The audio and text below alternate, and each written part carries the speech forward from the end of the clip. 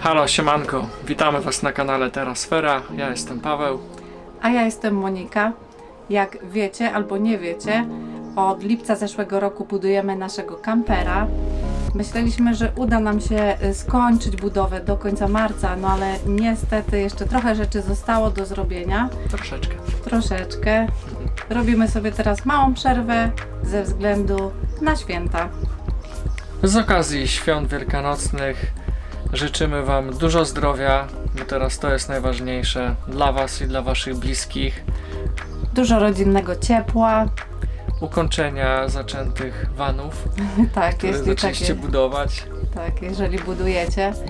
No i co? Smacznego jajka i mokrego dyngusa. No i nie zapomnijcie oblać Waszych vanów wodą. Nalany poniedziałek. Tak na szczęście. Ale zanim zaczniecie szykować święconki, zapraszamy na dzisiejszy film, w którym podłączymy nasze urządzenia do gazu. czyli kuchenkę i boiler firmy Truma. Ale zanim do tego doszło, jak wiecie, a może i niektórzy nie wiecie, bo dopiero zaczęliście nas oglądać, przeszliśmy razem bardzo dłu- długą drogę. Tak, y, raz nad vanem, raz pod vanem. Raz w miłości, a czasami w złości. Począwszy od zakupu wana, wstawienie okien, Okno do lasu. i wentylatora, wyciszenie naszego wana, pracy nad izolacją i wszystkimi innymi instalacjami. Kanalizacją, instalacją elektryczną, ogrzewaniem, Wygląda Webasto 5 kW. hydrauliką, Dobra. aż doszliśmy do instalacji gazowej. dzięki której mamy w naszym kamperze gaz i płonie kuchenka. A wszystkie etapy budowy możecie znaleźć na naszym kanale na playliście Budowa Kampera. A dodatkowe informacje znajdziecie również na naszym blogu, który prowadzi Monika. E, adres strony to www.terasfera.pl Zapraszamy Was również na naszego Facebooka i Instagrama. Będziemy wrzucać teraz coraz więcej różnych ciekawych treści, bo będziemy mieli trochę więcej czasu, jak już zakończymy budowę. Mam nadzieję. Także serdecznie Tak, zapraszamy. zapraszamy, no. Również do subskrypcji, jeżeli jeszcze nie subskrybujecie naszego kanału. Tak. Pamiętajcie o komentarzach, jeżeli macie jakieś pytania. I jeżeli Wam się filmik podoba, dajcie łapkę w górę, pomaga nam to rozwijać nasz kanał. No i zapraszamy do oglądania. Zapraszamy do oglądania. No, słuchajcie, po długich debatach odnośnie jak będą wyglądały nasze meble, w końcu rozkminiliśmy. Mam Mniej jakiś... więcej. Tak. Paweł ma wizję, ale to się okaże. Ja już miałem takie wizje, że potem trzeba było poprawiać. Nie, no żartuję. zobaczymy, zobaczymy. Eee, No ale jakiś pomysł mamy, także jedziemy do Tak, sklepu. jedziemy teraz do sklepu, zrobimy jakieś zakupy. No a No jutro i rano jutro- wstajemy i Jutro będzie kuchnia. jutro będzie kuchnia w końcu, mordeczko moja. Ty już obiecałeś. Obiecałem. tak. Dobra. Słuchajcie, zakupki zrobione. No. Co nam potrzeba? Co jest? Nie wiem, z czego się Monika śmieje, ale idziemy zapłacić. Co się śmiejesz? Niczego. Okej. Dobra, jutro będzie praca wrzała na całego. Dzisiaj kolejny dzionek. Praca nad naszym vanem. E, dzisiaj postaram się zrobić e, szafkę pod kuchnię. Pociągnę tam jeszcze instalację gazową do kuchni. E, no i co? Użyję do tego płyty 12 mm. Takiej jest to płyta utwardzana, sklejka 12 mm i 9 mm jest mi potrzebna. Tu już mam w sklepie, docięli mi na wymiar na drzwiczki. Drzwiczki będzie 12 mm płyta. Do szafki wiszącej. Użyję również e, kantówek 34 na 34 12 na 44 i 18 na 44. Tu gdzie jest truma z boku, e, to z tej strony będzie lodówka, tu będzie siedzisko dalej, a tutaj zamontuję kuchnię. Tu zrobię ściankę, w środku będzie kuchnia na półce, na dole będzie szuflada. Użyję do tego płyty 12 mm i mam nadzieję, że to wszystko będzie działało. Staram się Wam jak najwięcej pokazać z tego, co robię. Także zabieram się do pracy. Przytniemy teraz tą rurkę.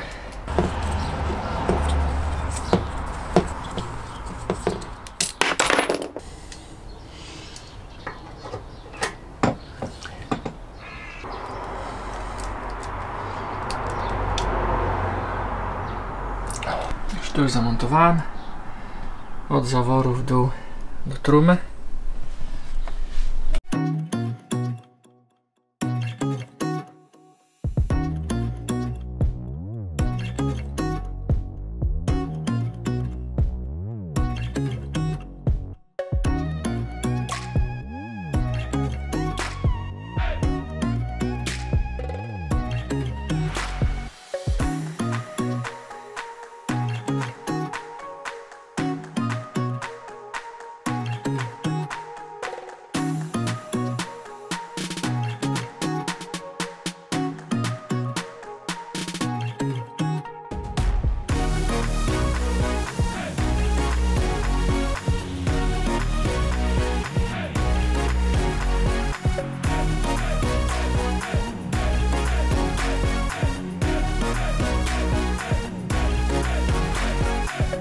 Od kuchni potrzebuję 38 szerokości. Wszędzie. Sobie dorysujemy. Robić tutaj akrobacje alpejskie. Yoga.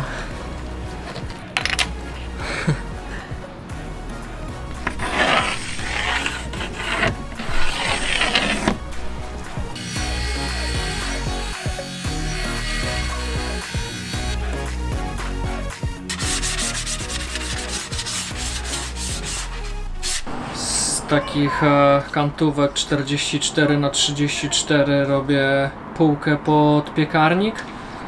E, piekarnik musi być 2 cm oddalony od ściany.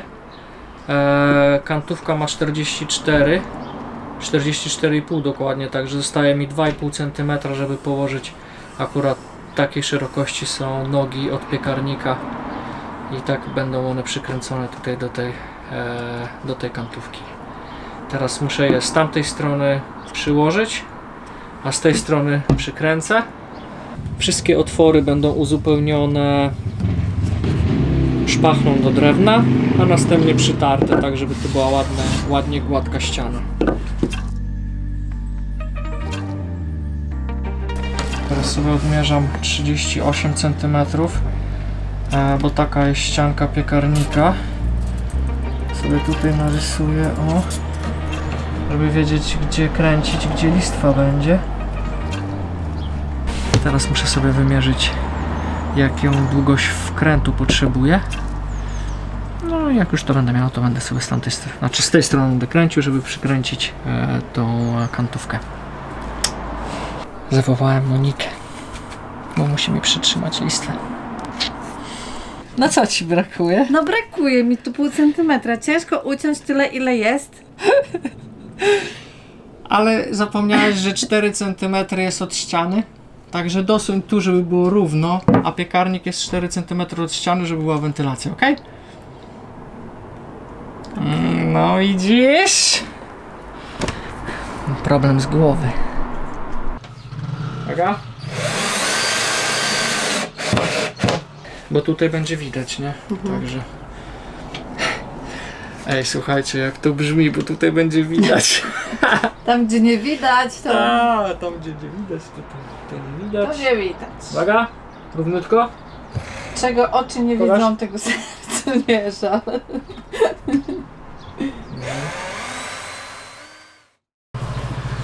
Będzie się trzymała, jak nie to spadnie i najwyżej placek nam wyleci. się wyturla. Piekarnika, tak. Wyturla się na. No właśnie, a czy ty używasz poziomicy? Nie. Okej. Znaczy używam do prostych linii. Do cięcia prostych linii, albo na przykład szafeczki, jak sobie robisz czasami, prawda? Jak na przykład tą robiliśmy, to używaliśmy. Jak tak, robiliśmy jak, jak robimy na, pod, na ziemi to tak, ale jak już jestem w wanie to jej nie używam, bo van stoi krzywo, nie? Mhm. No bo na, fe- na Facebooku się wywiązała dyskusja. Po pierwsze, czy to jest poziomica, czy to jest poziomnica.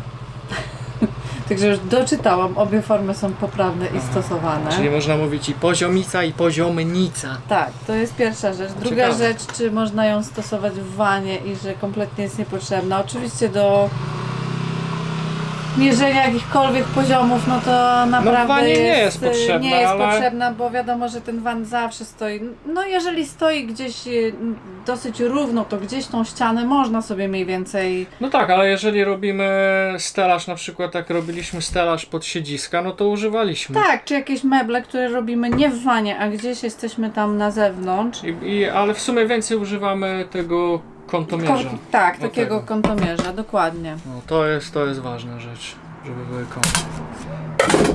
Ale się używa do odrysowywania linii, Tak, do przycinania. odry- odrysować linię. Dokładnie. dokładnie. Także zawsze gdzieś ona sobie tam jest i Dzisiaj- u nas ona jest, więc, Dokładnie. więc no i czasami, czasami można zbić męża taką poziomicą. Jak się obija. Widzicie, słuchajcie? Mam dowód.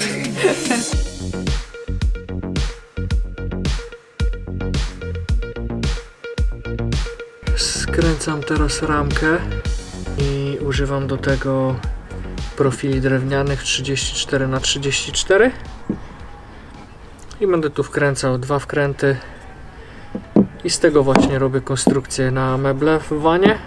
Szafki wiszące będą trochę inaczej zrobione, ale do tego przejdziemy później. Teraz robimy szafkę pod kuchnię. Pamiętajcie, żeby wiercić e, otwory najpierw w profilach drewnianych, e, bo jak wiercamy od razu w kręt, to czasami rozwarstwia się drewno. Dobrze jest zrobić sobie otwór wiertym, a potem wkręcać w kręt.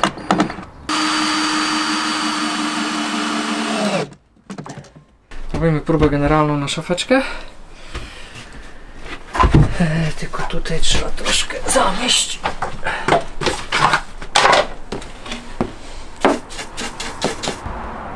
Teraz powinno być wszystko. Okej.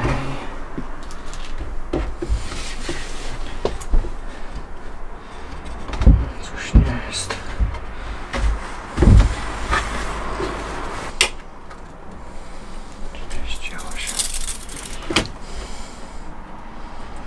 Jakim cudem tu jest?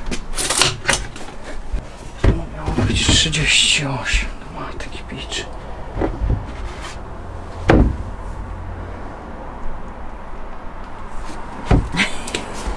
Co, kochanie? Nic. Dociśnij tu.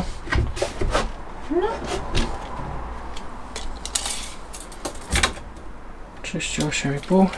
No i to jest 38,5, no bo tu ta płyta Tak. się nie zmieni. Dobra, to się potem wyreguluje, do podłogi No. się dopierdzieli i już się ją tu ustawi, żeby było 38,5 wszędzie. Tak jest. Także jak widzicie, nie jest takie proste. Bynajmniej dla mnie. Szafkę pod kuchenkę mamy. Gaz jest doprowadzony, truma podłączona. No słuchajcie, mamy to. Jest już jedna szafeczka. Kurczak będzie niedługo pieczony. Jest okej. Będzie szuflada pod spodem, pod kuchenką. No, tam będzie zlew.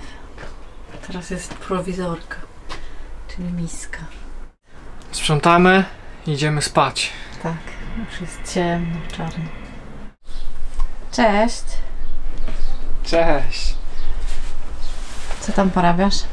A, no nic, no zmieniliśmy trochę koncepcję tutaj przy tym piekarniku, bo damy jeszcze takie 1,5 chyba e, centymetra listewki z boku piekarnika, a, a na górze będzie wentylacja.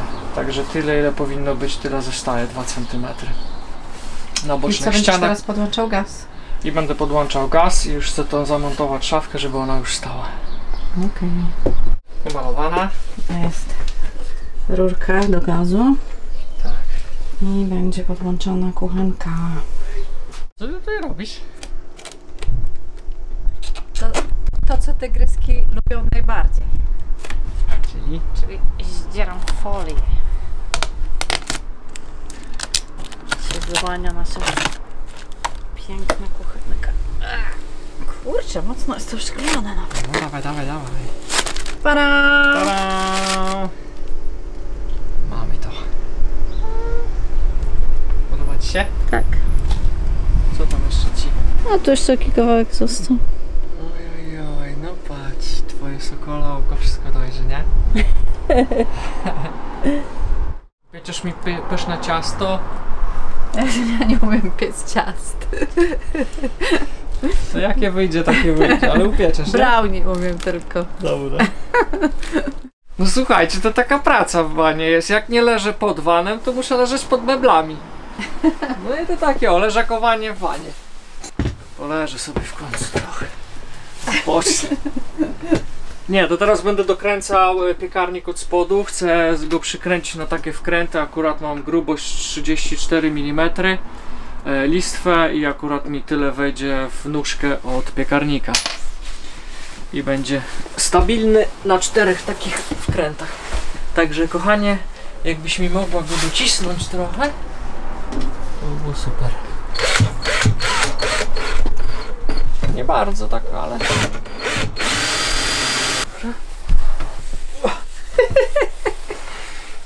Kurde, nie mogę wyjść. O matko. Ale jaja. Spodobało Ci się to leżenie? A szczególnie wstawanie. No i trzeba pamiętać również, żeby za szafkami też zabezpieczyć farbą, żeby tam jakaś wilgoć nam się nie wdawała. To jest lepiej. Więc teraz będę podłączał kuchenkę do gazu. Użyłem do tego takiego konektora. Z jednej strony wchodzi rurka 8 mm, plus tulejka, plus nakrętka. Zacisk się robi, rurka się uszczelnia tą tulejką i to samo będzie na dole.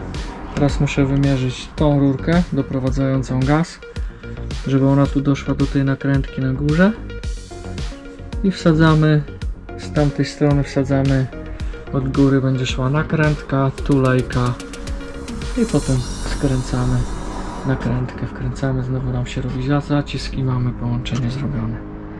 No i tu mamy teraz rurkę. Wsadzamy najpierw nakrętkę. No. Potem wchodzi z góry ta tulejka. No i teraz tą końcówkę musimy włączyć, e, znaczy włączyć, musimy podłączyć tutaj do tego konektora i będziemy to skręcali razem. I powinno być ok. Tak to wygląda, jak już jest połączone. Tu do kuchni, a tu do prowadzenia gazu. Pamiętajcie zawsze, żeby sprawdzić, czy jest szczelne. Czy nie jakieś bąbelki nie lecą. No naprawdę? Mamy ogień! Grzeje? Grzeje. Grzejesz się? Tak. No, no to dawaj zupę robimy. Nie mam garnku. Muszę szafeczkę teraz dokręcić. Już? Tak. Teraz musisz zrobić zlew, żebym mogła tutaj, wiesz, coś ugotować. To musi być zlew i blat jeszcze. Dobra. Zaraz zrobię.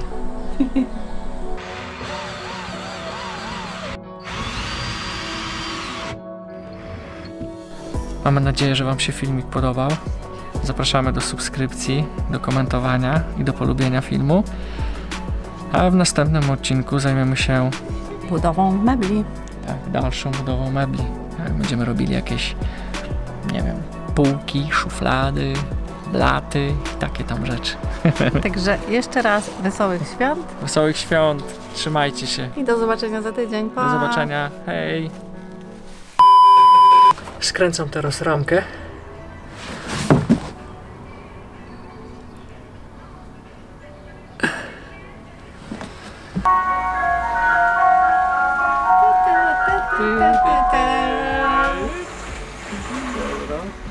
Fajnie się nagrywa na ulicy, No, naprawdę. super. Polecamy. A to kurna lody przyjadą, a to sąsiadka z, z muzyką na full. Tak, To dam alarm na jakiś się włączy. Ale dziś nie pada i nie ma wiatru. Tak, bo najgorszy to jest wiatr. Ale za to jest lodziarka. Lodziarka. Dobra. Wyłączaj.